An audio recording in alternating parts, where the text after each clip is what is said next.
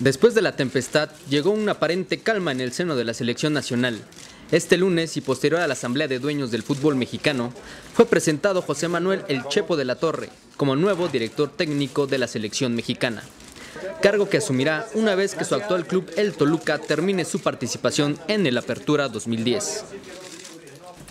Está con nosotros el nuevo técnico de la selección nacional, el señor José Manuel de la Torre, a quien le damos la bienvenida desde luego, que fue por unanimidad electo esta noche con el apoyo incondicional de todos los equipos de la primera división. Y nos da muchísimo gusto que un joven técnico mexicano con un récord envidiable, con campeonatos a pesar de su corta experiencia como técnico nacional, perdón, como técnico del Toluca de Chivas del Guadalajara, haya cumplido con tantos logros en tan poco tiempo.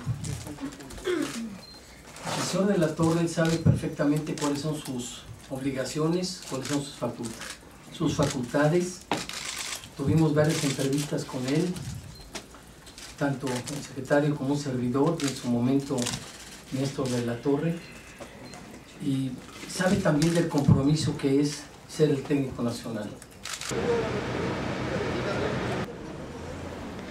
Desde muy temprano, una nube de medios se remolinó en las afueras de las oficinas de la Femex Food para ver llegar uno a uno a los propietarios de los equipos de primera división.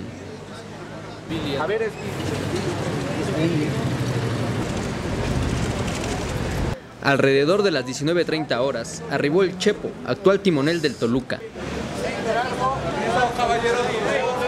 Para que minutos más tarde, en conferencia de prensa, Justino Compeán y Decio de María hicieran oficial el nombramiento. El proyecto de trabajo está basado en una premisa fundamental, el, la estabilidad de un grupo de trabajo que llegue a Brasil 2014.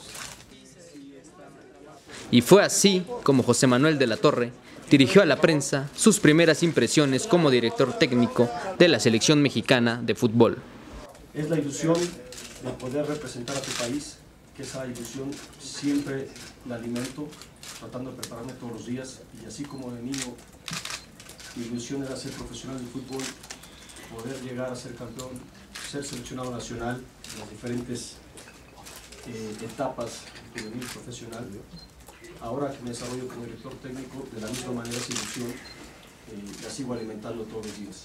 El proyecto está aprobado 2010-2014. El principal objetivo es la calificación al Mundial.